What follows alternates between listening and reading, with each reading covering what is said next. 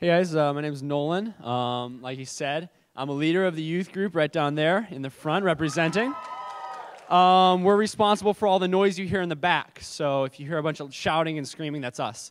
Um, sorry about that. But, uh, anyways, no, I'm just here um, to tell about how I actually got into youth ministry um, in general. So when I was a little kid, I never really fit with my age group, I never really acted my age. Um, my sister was 15 years older than me.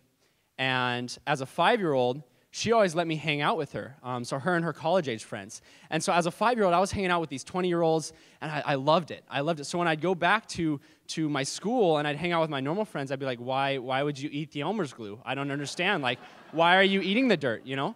And uh, so I never really fit in. So it was to my surprise when at a youth camp in seventh grade, the Lord called me to youth ministry.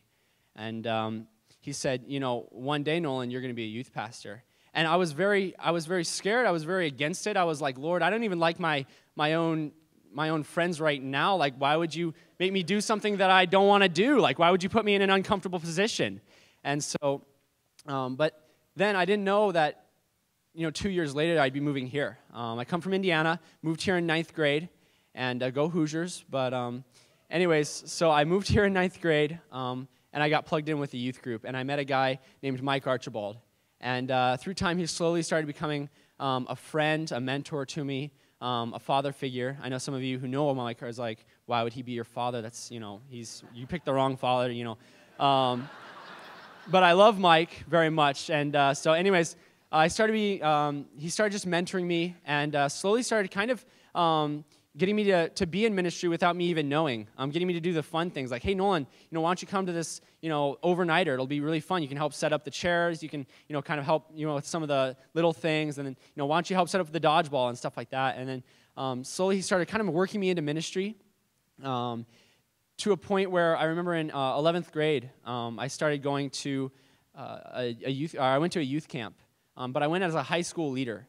And uh, at that camp, I got a group of five guys. Um, I, got, I got 12 kids in total, but five guys. And uh, I remember watching them um, go throughout that youth camp. They came in kind of as these like um, knucklehead type of kids, like, you know, I know all, all things, you know, you have to follow me. And that was kind of their idea. And then they left and they were just, you know, they had been broken, but then they had been repaired by the love of God, and they just had the Holy Spirit inside of them. And, and I remember thinking after that youth camp, I was like, God, I want to see more of that. Like, I want to see more kids come to know you. I want to see more kids come be, be, um, be set on fire with the Holy Spirit and just go into their um, schools and teach the Word of God. And um, so I just, that was my heart. And that was where my heart really, um, that was where kind of the Holy Spirit poured the gasoline on the spark and, um, and just really lit me on fire for youth.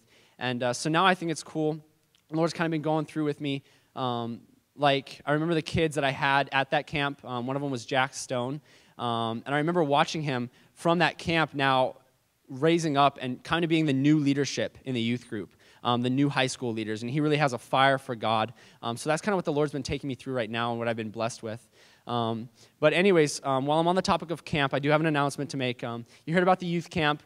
Uh, to all the parents out there with kids, junior high and high school age, we have a youth camp coming up this weekend, this Friday, Saturday, and Sunday for the high school. And then next weekend is the junior high camp. So next Friday and Saturday and Sunday is the junior high camp. Um, it's not too late to sign up. If you come see me or Mike Archibald after service, uh, we can get you directed to the, pre- to the people who have the forms. Um, please get a form, fill it out for your kids.